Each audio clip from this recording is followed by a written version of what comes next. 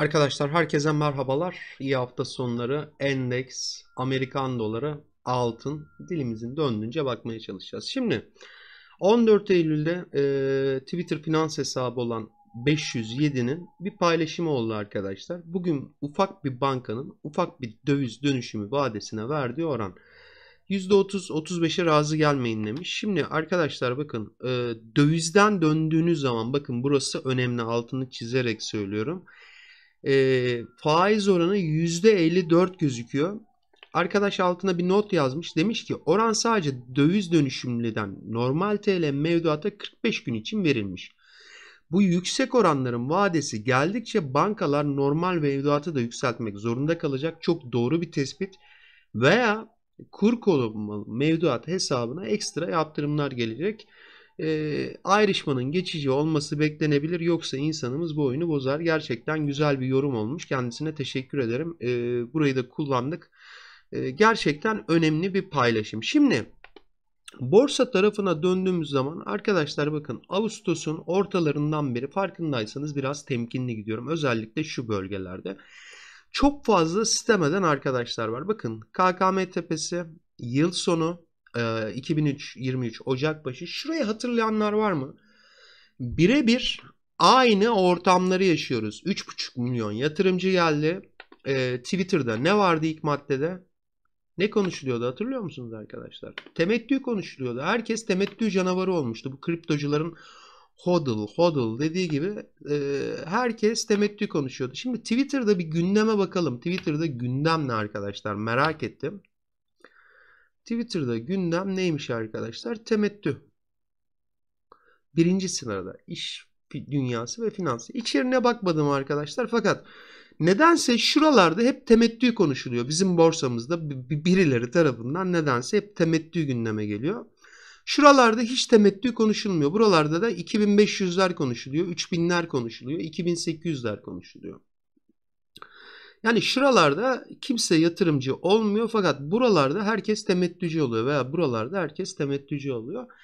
Benim sadece ilgimi çekti yorumsuz arkadaşlar. Şimdi şurada bakın birinci tepe, ikinci tepe, şurada arkadaşlar bir üçüncü tepemiz var. Şurada bir 8 günlük EMA'nın altında kırılım geldi. Ben borsadaki pozisyonlarımı, risklerimi azaltacağımı, borsada %30-35'in üzerinde asla varlık tutmayacağımı söylemiştim arkadaşlar. Şimdi şuranın altına sarkmadıkça çok fazla sıkıntı gözükmüyor fakat Türk Hava Yolları tarafında arkadaşlar 3 aylıklarda tamamlanmış bir çanak formasyonumuz var. Amerikan doları bazında Türk Hava Yolları analizim var. Çoğu BIST'te yüksek etkisi olan hisse e, gerçekten şeyde e, dolar bazında da e, ilginç yerlerde.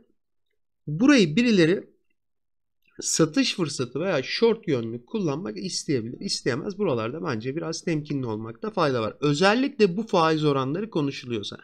Ayın 20'sinde arkadaşlar bir faiz artışı var. 50 bas puanın üzerinde bekliyor piyasa. Benim bununla ilgili bir yorumum olmayacak. Çünkü e, yani tahmin edemiyorsunuz arkadaşlar. Yani tahmin edemediğiniz bir şeyle ilgili de yorum yapmak çok fazla doğru değil. Amerikan doları tarafında Arkadaşlar bakın şurası 14 Temmuz 2022 birinci temas altına bir sark, sarkma oldu. Şuralar direnç olarak çalıştı görebiliyor musunuz bilmiyorum. Bakın şuralar direnç olarak çalıştı. Daha sonra şu anda buranın üzerine attık. Dün özür dilerim perşembe günü perşembe günü buradan şu anda bu trend destek aldı. Buranın altında bakın endeks tarafı biraz can sıkabilir. Temkinli olmakta fayda var ve muhakkak şuradaki şeyi e, destek noktasını grafiklerinize ekleyin arkadaşlar. Çünkü çok fazla küçük yatırımcı girdi. Daha önce çektiğim videolarda da söyledim, bahsettim. Küçük yatırımcının ağır bastığı yerlerde genelde e, tersine hareketler olabiliyor. Bunu en güzel 2023 Ocak başı yaşamıştık. Yine bir halka arz çılgınlığı vardı. Yine Twitter'dan bir güruh temettü, temettü, temettü güzellemesi yapıyordu arkadaşlar. Ne oldu?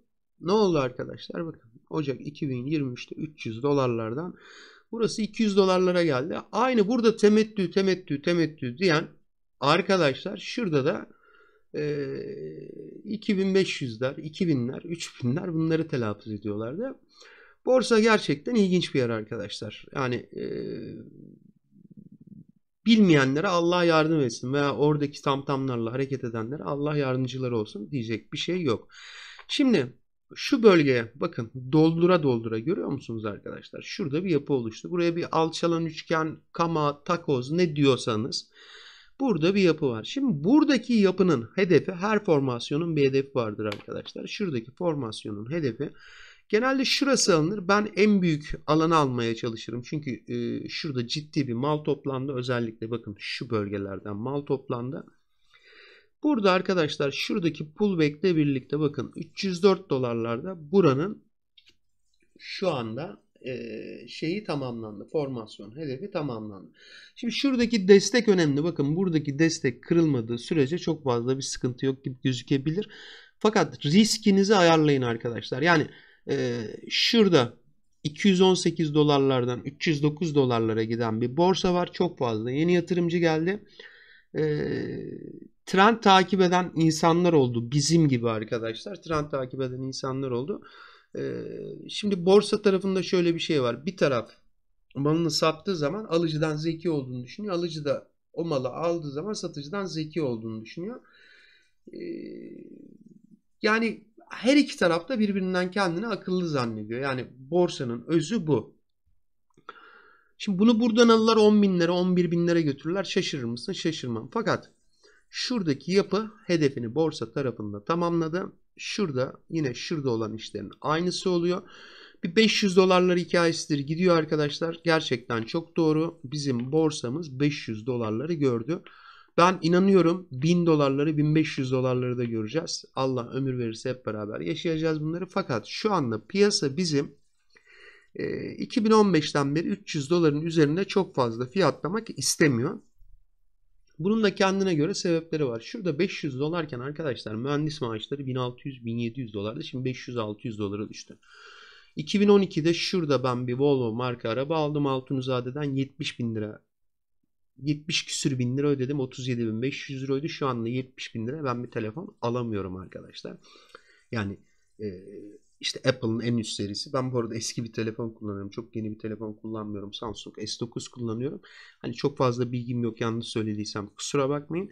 Ee, yani 500 dolarlar gelecek ama yani şuradan beri bakın 2013'ten beri Türkiye'de bazı şeyler gerçekten hoş gitmedi. Bu da borsa tarafına bir şekilde sirayet etti. Yabancı işine geldiği yerlerden giriyor. Fakat işine gelmediği yerlerde de satıcı olabiliyor. Ee, yani faiz noktasında arkadaşlar yukarıya gittiği zaman büyük para sahipleri hani e, şeyden bahsetmiyorum halka arzlardan 300-500 bin liralık hisse alan arkadaşlardan bahsetmiyorum. Abi orada ben %50 %55 faizi görürsem borsada niye cebelleşeyim deyip e, mevduat tarafına döner mi dönmez mi bunların hesabını yapmak gerekiyor. Geçen bir arkadaş şey demiş sen işte nakde geçtin e, borsada Türkiye'de borsa dışında paranın gidebileceği herhangi bir yer yok. Arkadaşlar bakın bu da çok yanlış bir cümle. Bu da çok yanlış bir cümle. Nedenini söyleyeyim. Paranın gidebileceği çok fazla yer var.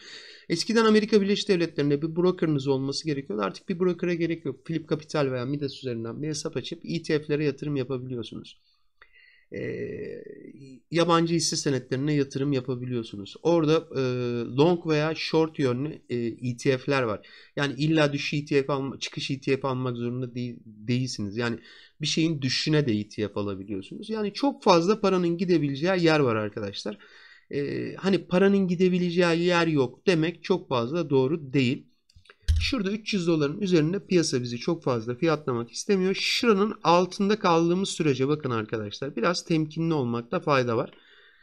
Ee, şurası arkadaşlar 303 dolar, 302 dolar 36 santlerin altında biraz temkinli olmakta fayda var. Az önce çizdiğim 4 saatliklerdeki destek de borsa tarafından önemli izlenmeli.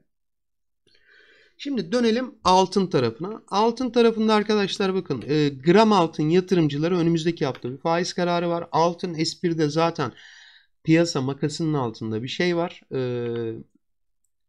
üzerinde bir açıklık var. Yani o piyasanın yapış piyasa yapıcı, market yapıcı o şekilde şey yapıyor. E, dolar tarafında eğer faiz artışıyla birlikte bir gevşeme gelirse o tarafa yansıyabilir. Yani burada ons yukarı giderken sen orada Türk lirası şeyinden e, o makasından zarar edebilirsin veya gram altın yatırımcısıysan ona dikkat etmekte fayda olabilir. Ben ons bazında alıp ons bazında satıyorum arkadaşlar. E, altın tarafında şurada bir yayınım olmuştu. izleyenler vardır. 1893 doların altına sarkmadığı sürece burada pozisyonumu yukarıya doğru taşıyacağımı söylemiştim. Burası 1950 dolarlara kadar gitti. Aşağılardan gelen bakın şöyle bir desteğimiz var. Desteğin altına sarkınca ben burada bir miktar pozisyonumu kapattım arkadaşlar. Tekrar bakın şu bölgede bir alım yaptım. Burası aşağılara sarktı beni çok fazla korkutmadı. Çünkü 4 saatliklerde bakın şöyle bir yapımız var. Doldura doldura bir kama görüyor musunuz arkadaşlar? Bakın şurada bir kama var. Şimdi bu illa yukarıya kırılacak diye bir durum yok. 1893 doların altında ben elimdeki altınları kapatırım. Üzerine tekrar trene binerim.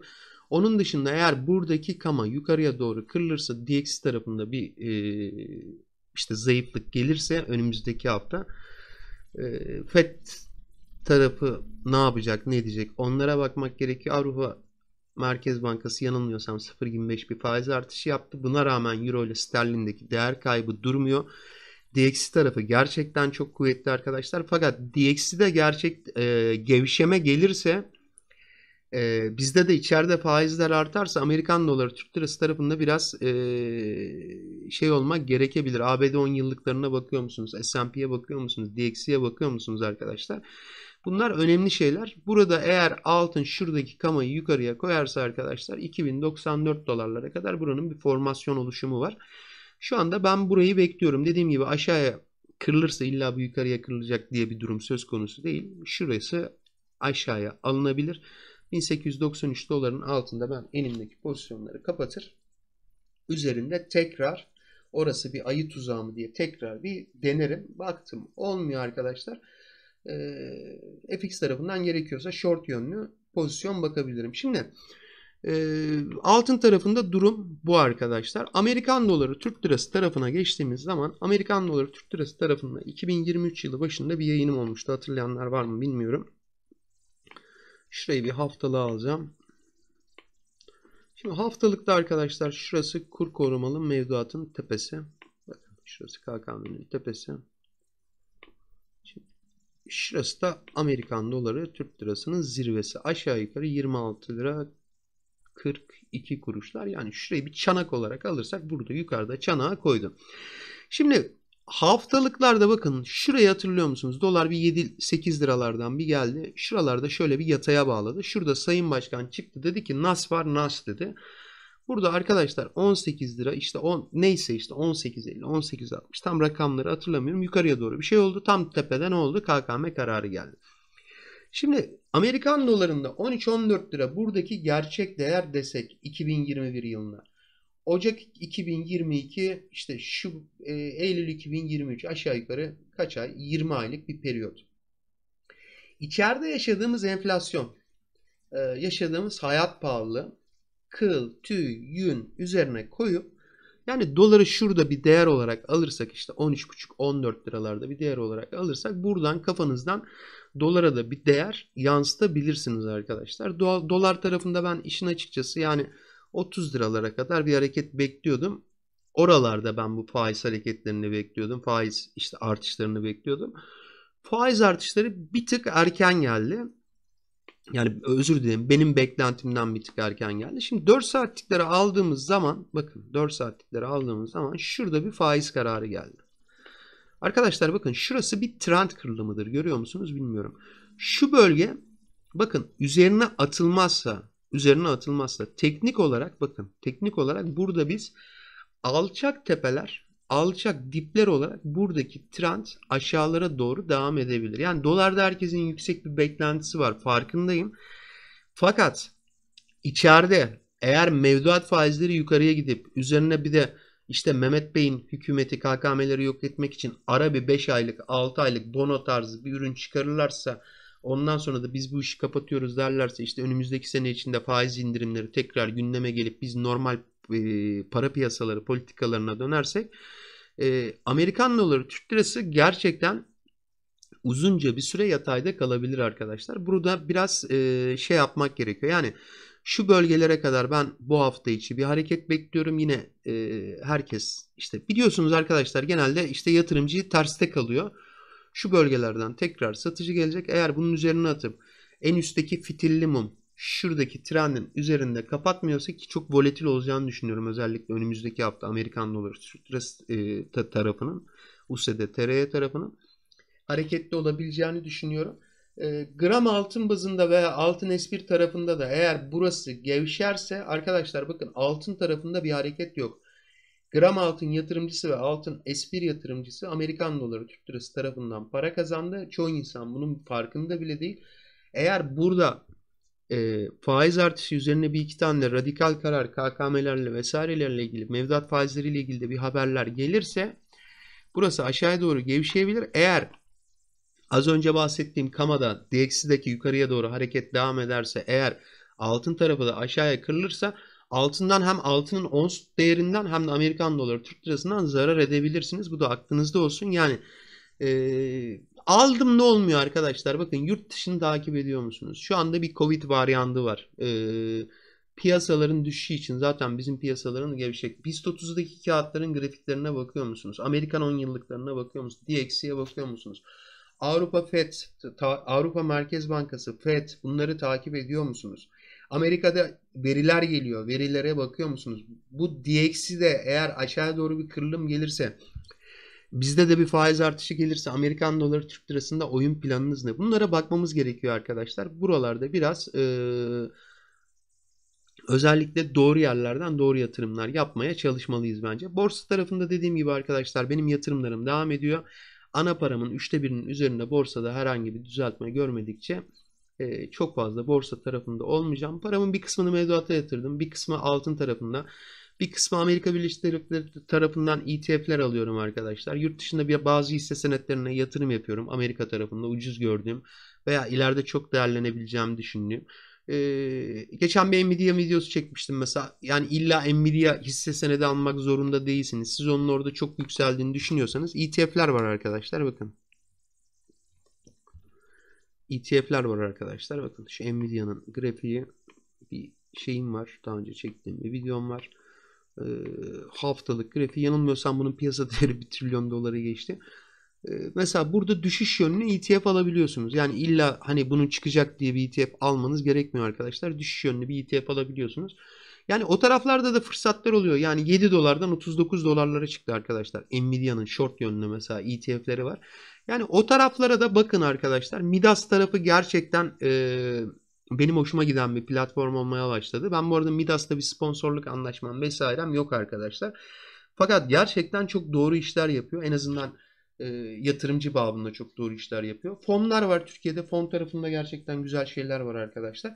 Yani paranın gidebileceği çok fazla alan var. Anlatmaya çalıştığım o. Şu bölgelerde işte 7 dolar olan e, şeyler Nvidia'nın short yönlü ETF'leri arkadaşlar 7 dolar olan şu ETF'ler şu anda 40 dolar 39 dolardan işlem görüyor. Yani çok fazla piyasada fırsat var. Yani doğalgaz tarafında var. Petrol tarafı, Brent tarafı hareketli işte neyse petrol tarafında şeyler var. Alabileceğiniz kaldıraçlı veya kaldıraçsız ETF'ler var arkadaşlar. Bunlarda likidasyona uğramıyorsunuz. Fakat e, kaldıraçlı tarafa çok fazla bulaşmayın. E, dediğim gibi arkadaşlar yani hep de böyle boğa boğa boğa olmaya gerek yok. Özellikle borsa tarafında. Burada bir kitle var. Ben kitlemi sıkı tutacağım, şey yapacağım diye sürekli borsada işte e, boğa yönlü olamam. Bazı yerlerde temkinli olmak gerekebiliyor. Hayatımız ben bu işten kazanıyorum. Üstüne basa basa söyleyeyim. E, paramı işte yatırımlarımı kaydırabileceğim yerler var. Borsa tarafı zaten pandemiden beri 800-900'lerden 8500'lere gelmiş. Abi sen orada zaten para kazanamadıysan hani bir otur bir soluktan yani bir Amerikan doları bazı e, bunun kalktığı destekleri çiz. Oralarda en azından e, paranı biriktir. Oralarda 3-4 tane hisse senedi belirle. E, oralarda yatırım yap. Yani özellikle yeni gelen arkadaşlar için söylüyorum. Umuyorum faydalı bir yayın olmuştur. İzlediğiniz için hepinize teşekkürler.